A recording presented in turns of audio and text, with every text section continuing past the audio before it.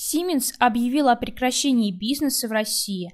Компания Siemens приступила к процедурам завершения работы в России.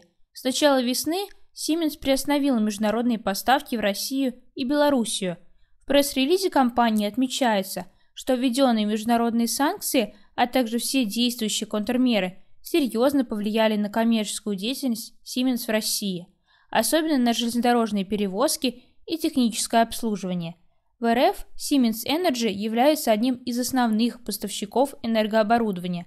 Компании, в частности, принадлежит Siemens трансформаторы и 65% в силовых машинах, Siemens технологии газовых турбин.